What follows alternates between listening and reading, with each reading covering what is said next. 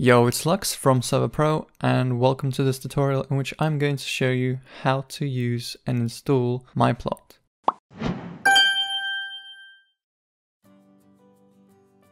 This plugin allows you to generate plot worlds where you can claim them and build within them. This is a plugin for the Bedrock version of Minecraft, however please ensure that you are running the PocketMine server type.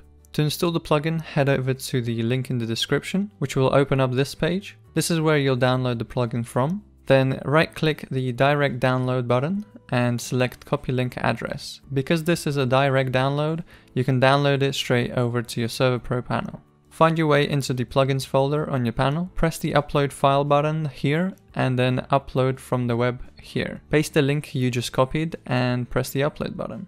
The plugin should automatically download for you. All you have to do now is restart your server and you're ready to go.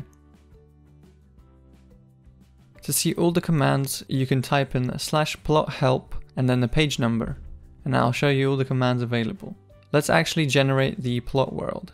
To do this, type in slash plot generate and then the name of the world.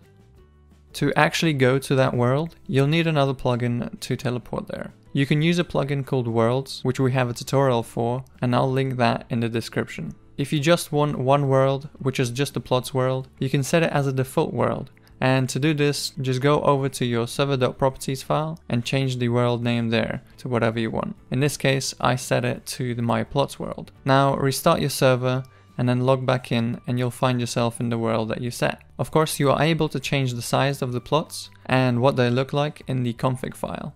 For example, you can change this road here to dark oak instead of oak. This is all done in the config, which I'll show you an overview of later. Let's actually claim a plot. To do this, type in slash plot claim while standing inside the plot you want to claim. If you have an, an economy plugin and you set it up correctly, you can actually make players pay for plots. Now, once you've claimed the plot, you can build in it and do whatever you want in it.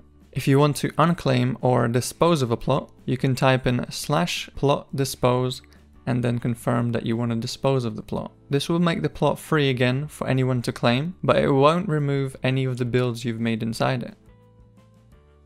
So let's actually claim the plot back and change the name of it. To do this, just type in slash plot name and then whatever you want to name the plot while standing inside the plot. Let's say you want to add players to your plot so that they can help you build. Type slash plot add helper and then their username. You must make sure that you're standing inside the plot you want these commands to take effect in. If you decide that you don't want to give them access anymore, and you want to remove the helper, just type in slash plot remove helper and then their username. You can also completely deny players from accessing your plot. This means that they won't be able to even go inside it. To do this, just type in slash plot deny and then the player username.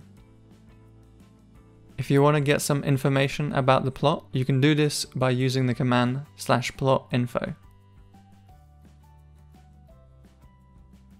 Okay, let's say I have multiple plots and I want to check out what they all are. You can do this with the slash plot list command, which will bring up that actual list. Now, every time you actually create a plot, a home point is also created. To see that list, just type in slash plot homes, and then to actually teleport to a home, just type in slash plot home, and then the plot number from the list you want to teleport to. To clear your plot from all the things you've built, just type in slash plot clear while standing inside the plot you want to clear. This will take some time. However, if you want to clear the plot and unclaim it at the same time, type in slash plot reset. There are many other commands for this plugin, and if you want to know what they are, I'll leave a link to the plugin wiki in the description.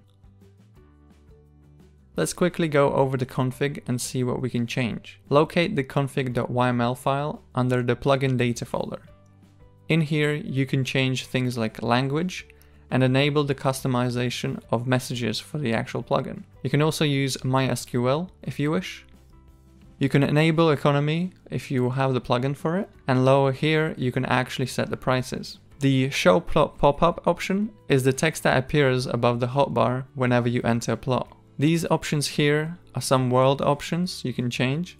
For example, you can disable entity movement within a plot. At the bottom here you have the main options to actually customize the plot Let's say you want to change the size or the look of it. The comments in this config explain everything very easily, but if you need more information, make sure you do check out the wiki. If you want to make some changes per world, you can actually do that and it's done in these configs here.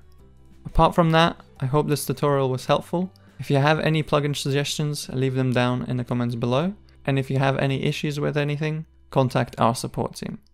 Thank you for watching and I'll see you in the next one. Goodbye.